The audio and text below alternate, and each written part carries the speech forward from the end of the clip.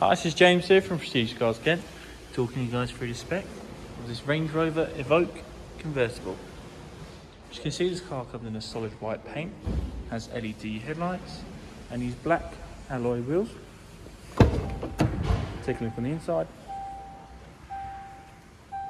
With leather steering wheel, leather seats, which are electric and heated. The steering wheel was also heated from the button just behind there. Car also comes with Meridian sound system and memory functions for the seats. This car's got a 360 camera, DAB radio, and satellite navigation. Just to list a few of the options. Taking a look in the boot.